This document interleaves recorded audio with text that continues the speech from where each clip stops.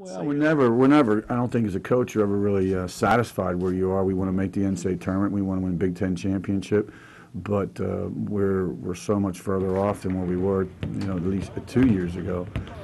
You know, as, as a lot of our colleagues recognize kind of where we've been and, and where we've, we've come. And now we've got, you know, we know we've got unfinished business. We've got work to do. Uh, we, we've, we haven't reached our, our goals. And but believe me, I don't sit here and go, oh, we've arrived. I mean, that's, that's foolish.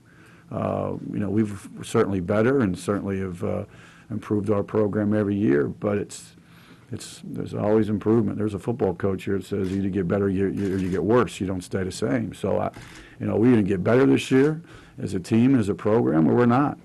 Uh, so we're going to try to find that, that balance, and we're going to try to get better. Yeah, you know, I think we need to, you know, have another uh, successful season. So you know, it's not one of those one-hit wonder things, and you know, and the program is on the rise. So that's what we've been working for. We had a great off season, and you know, and we really think we have a chance to be good. You know, we got a lot of young guys.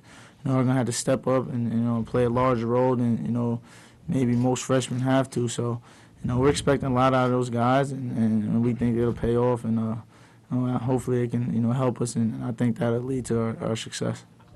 Uh, you know, I, I think Talor's a, one of the best players in the country, and and um, I think most importantly is that he he brings it every day. He, he plays hard every day, Gennaro, and, and I think when one of your best players plays hard every day, the other guys feed off of him naturally. I think that's the first thing. Second thing is is he's become more vocal and um, trying to give him more opportunity to do that in uh, huddle situations and, and off the floor. And you know, now that Jamelle's gone, you know, all the guys are looking up to me. You know, so it's my job, you know, to try to say it's positive. You know, as much as I can. You know, even you know if my shot's not falling. You know, so that's been the toughest adjustment.